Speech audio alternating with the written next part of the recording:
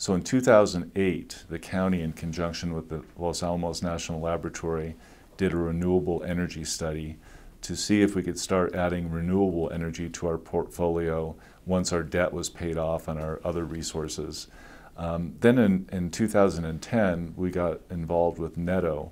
Now, NEDO is the new Energy and Industrial Technology Development Organization, uh, part of the Japanese government's Ministry of Trade.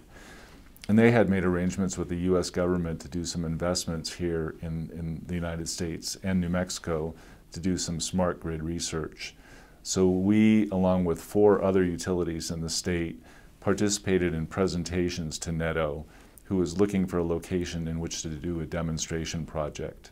The Los Alamos Smart Grid project integrates one megawatt of utility scale PV, 1.8 megawatts of utility scale battery storage system, a smart house, and 1600 smart meters, all controlled with a state of the art micro EMS system.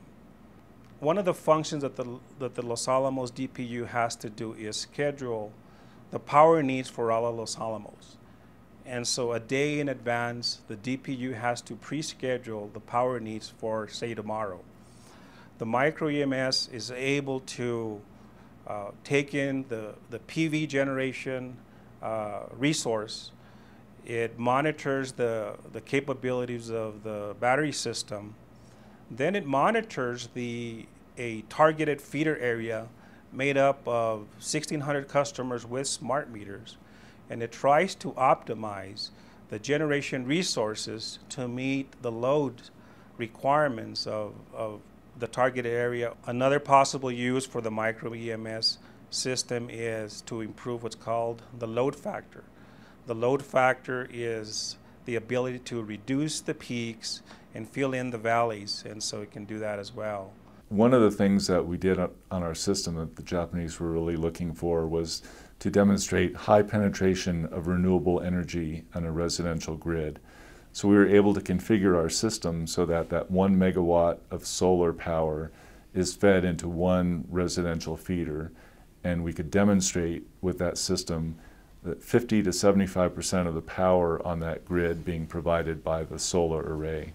And that's really the heart of the demonstration. You can integrate distribute, distributive energy resources to make them firm and dispatchable, uh, to make to shift load, uh, to reduce peak, fill in the valleys.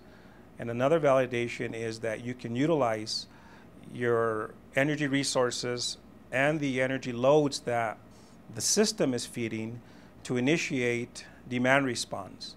Uh, the micro EMS can, can send a signal to a targeted feeder area uh, so that the customers can either increase demand and reduce demand. And the micro EMS uh, validates that. The history of the electric utility industry has always been we generate power to meet the demand.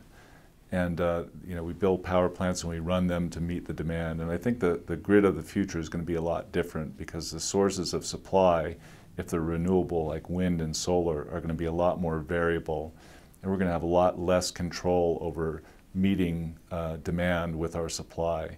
So the future is going to have to have a lot of um, ability to manage the demand as well as manage the supply. So the grid will be talking about the availability of power and then your appliances will react or your home energy management systems will be reacting to that to, tr to try to bring the supply and demand into balance in a lot more dynamic environment that we'll have in the future.